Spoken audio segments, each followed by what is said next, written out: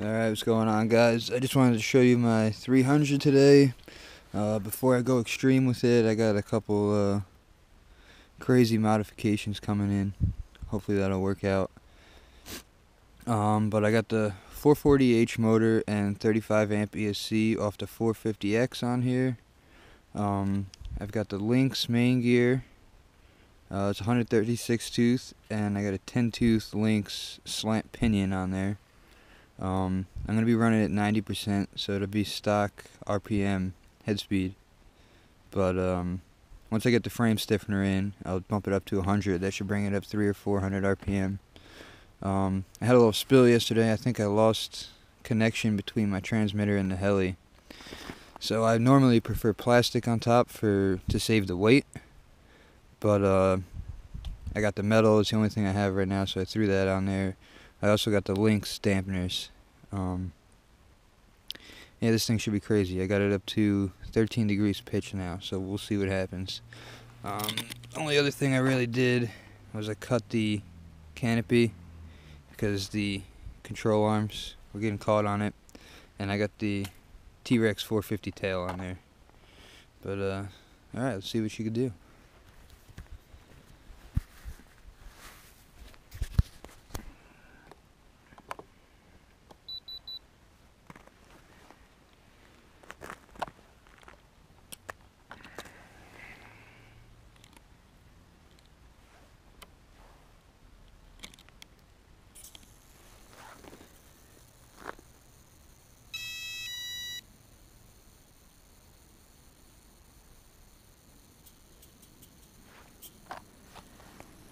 Um, yeah, after I lost the connection too, I also added a satellite, hoping that would solve it. And I had my servo wires running on this side.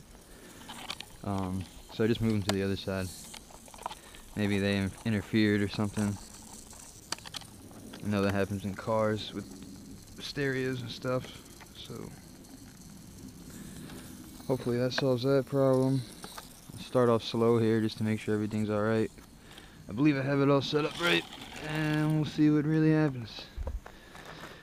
But alright, here's nothing.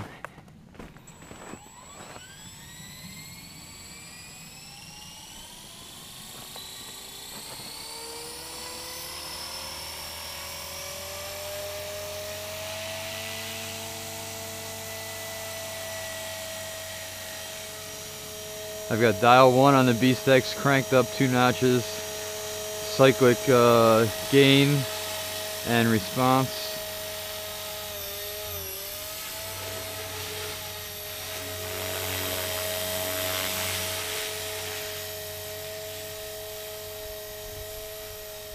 Just make sure I'm not going to lose connection when I go out there again.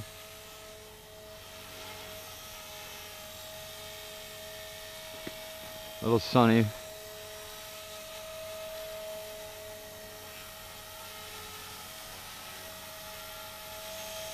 Alright, let's let's uh crank her up here.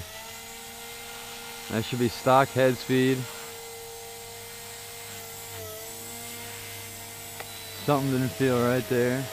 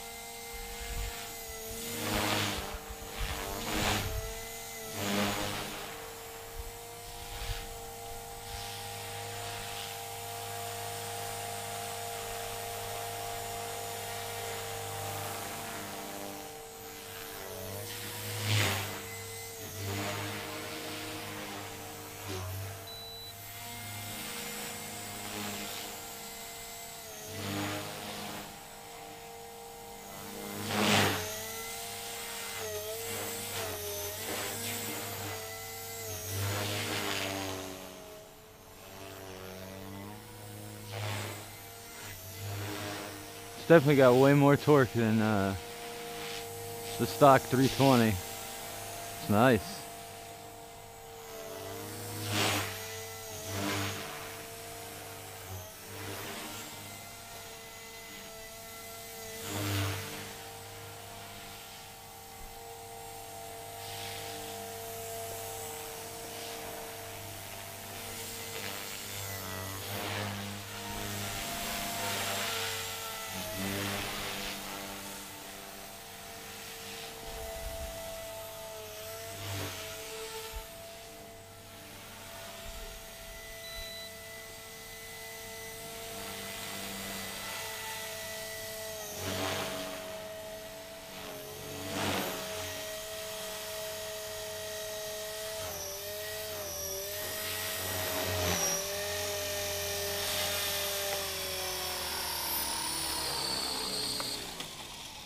That was nice though. Very impressed. Um, I get that frame stiffener in today. I'll go up to 100%.